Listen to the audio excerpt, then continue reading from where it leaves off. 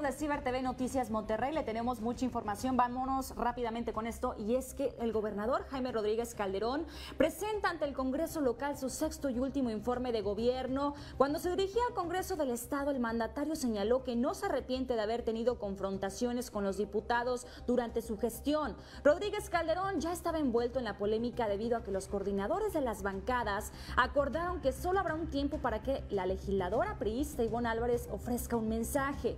El acuerdo impide a otros diputados tomar la palabra para expresar críticas o cuestionamientos al gobernador. Lo anterior no fue bien recibido por el grupo parlamentario de Morena.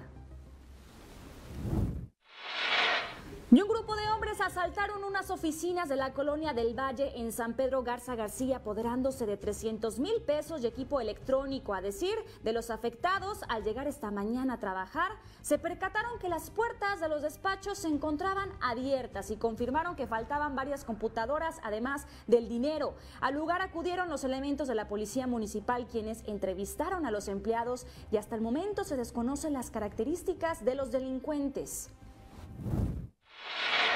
Y mire, las casas de migrantes de la Arquidiócesis de Monterrey han sido rebasadas tras la llegada de varios grupos a la entidad. Por ello, se construirá una nueva sede en el municipio de Santa Catarina. El arzobispo de Monterrey, Rogelio Cabrera López, dijo que la ayuda a los migrantes haitianos que han arribado a la entidad no ha parado pese a verse rebasados en cantidad. Frente a esta realidad hacemos también un llamado para que nos ayuden a mejorar nuestra estructura y capacidad de recibirlos. Hemos iniciado la construcción de una nueva casa del migrante en Santa Catarina, Casa Monarca. Esperamos su cooperación para poder llevarlo a término, así lo señaló. Y el Papa Francisco envió un mensaje a México con motivo de la conmemoración de los 200 años de independencia del país, en el cual la Iglesia reconoce los excesos cometidos en el pasado. Para fortalecer las raíces es preciso hacer una relectura del pasado, teniendo en cuenta tanto las luces como las sombras que han forjado la historia del país. Esa mirada retrospectiva incluye necesariamente un proceso de purificación de la memoria, es decir, reconocer los errores cometidos en el pasado que han sido muy dolorosos por eso, en diversas ocasiones, tanto mis antecesores como yo mismo hemos pedido perdón por los pecados sociales y todas las acciones y omisiones que no contribuyeron a la evangelización, señaló el Papa en una carta. La misiva fue leída por el cardenal Rogelio Cabrera, presidente del Episcopado mexicano, en un video transmitido durante la conferencia matutina del presidente mexicano Andrés Manuel López Obrador este lunes 27 de septiembre. Bien, ahora pasemos a la información deportiva con Rafa Martínez.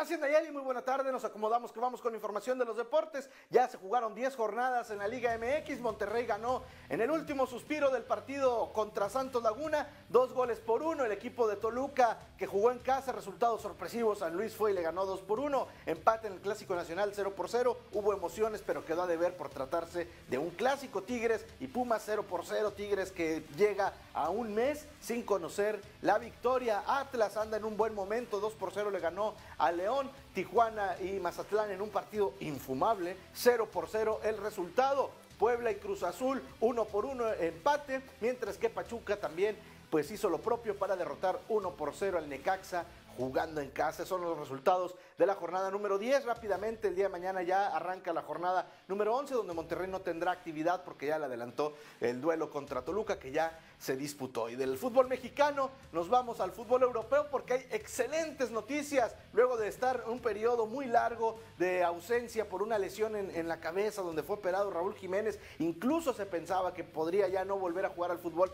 Vean lo que hizo.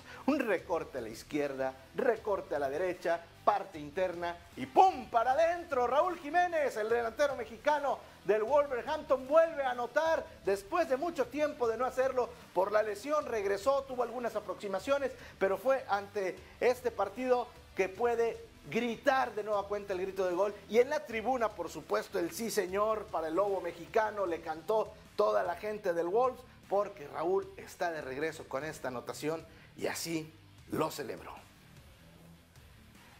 Es lo que tenemos en la información de los deportes. Que tenga una excelente tarde.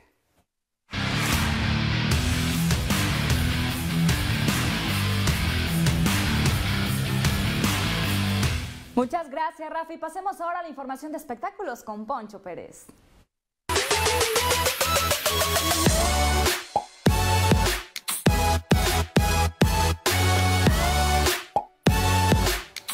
Información de los espectáculos en esta tarde de lunes. Llegamos con más información, información internacional. Oiga, este fin de semana hubo mucho evento internacional en los Estados Unidos y en diferentes partes del mundo con el Global Citizen, pero lo que vamos a platicar es también de la gala que se llevó a cabo este fin de semana en Los Ángeles con la apertura del Museo de la, de la Academia de Cine de Hollywood, o sea, prácticamente la academia que hace el Oscar, abrió un museo donde muestran justamente pues una colección o una gran colección de diferentes artículos, piezas, pinturas, etcétera, etcétera, de diferentes películas que la verdad es que han marcado el cine a nivel internacional. Muchos famosos como era de esperarse estuvieron presentes y ahí lo estamos viendo en esta alfombra verde. Esta alfombra verde, está Luis Gerardo Méndez, que bueno, pues la verdad también bastante bien porque los mexicanos estuvieron presentes. Ahí está parte de la colección que podrán ver a partir de ya, porque se abrió este fin de semana Diego Boneta con Luis, que se toparon, estuvieron compartiendo fotografías. Eugenio Derbez también, que fue con Alessandra Rosaldo. Ahí estamos viendo a R2D2, este pues personaje de las Guerras de las Galaxias. Ahí estamos viendo a Terminator también también otra de las eh, pues artículos que se exhiben.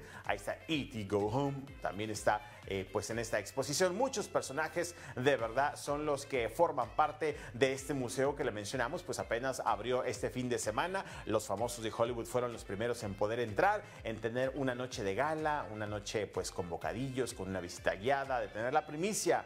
Miren más estos personajes, Grooming Wallet también que son bastante famosos. Ahí está Lady Gaga con Katy Perry, quienes se toparon eh, pues este fin de semana que por cierto también había memes porque decían que de grandes serían Lucía Méndez y la Tesorito. Lo pusieron en redes sociales, ¿no? Si de verdad que la gente no perdona. Ahí estamos viendo parte de esta colección. Mire, Eugenio Herbés y Alessandra, que digan la verdad, Alessandra me ha tirado mucho en redes sociales que porque nunca le atina al vestuario en los eventos de Hollywood. Eso dicen en redes sociales, como siempre ya sabe, yo solamente le comparto lo que la gente dice en redes sociales. Ahí estamos viendo a Diego Boneta, que oiga, también no sé si a usted le pasa, ya lo vemos y con esos lentes como que sentimos que todavía vive en el personaje de Luis Miguel, ¿no parece? Bueno, ahí está Nicole Kidman, que luce espectacular. Esta mujer no sé en qué dormirá, no sé en qué se meterá, porque siempre luce igual, de verdad, se ve espectacular.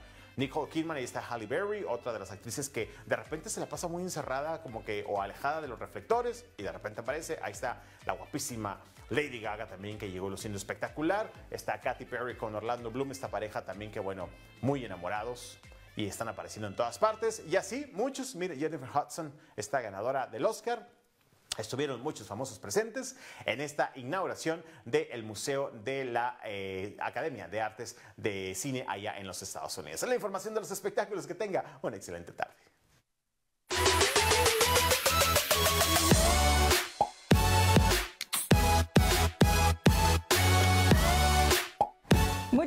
Gracias, Poncho. Ya son las 12.25 del mediodía y a esta hora le queremos agradecer por estar muy pendientes de todas las transmisiones que hacemos aquí en Ciber TV Noticias Monterrey. De igual manera, recordarle nuestras cuentas oficiales de las redes sociales donde nos puede escribir, donde puede también obviamente estar pendiente de todas las transmisiones, de toda la programación que Ciber TV Noticias Monterrey tiene para usted. Nosotros nos despedimos. Que pase muy buenas tardes.